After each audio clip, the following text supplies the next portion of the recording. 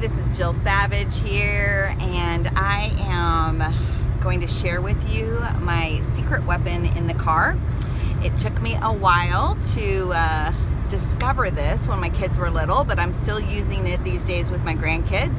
So I thought I would share it with you because this is what every parent needs, uh, particularly when they're, I don't know, running errands in the car and they're just like the kids are getting um, antsy or you're on a car trip and you just need something to uh, distract them for the last 10 minutes before you get to grandma's. So your secret weapon is this. It is bubbles and uh, if you're driving you can just have the bubbles sitting in the drink holder.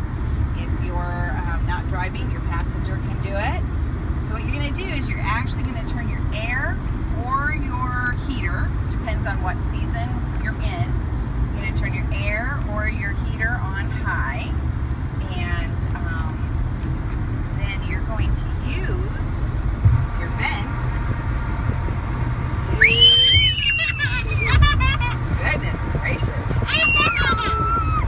Okay, there we go. You're going to use the vents to create a bubble machine in the car and uh, it usually offers distraction, even when the kids are little.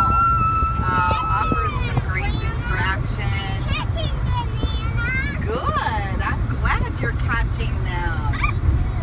That's good. Are you catching them back there? Yeah. All right. Let me get you some more. There we go. There's some more. All right. So, one of the fun things we've done is we've actually, uh, once or twice, been stuck in traffic. So we decided we would just uh, fill the car with bubbles and then kind of roll the windows down a little bit let the bubbles just kind of tumble out the windows, entertaining everyone around us. So, there you go. There's your tip and I hope you find it helpful. Have a great day.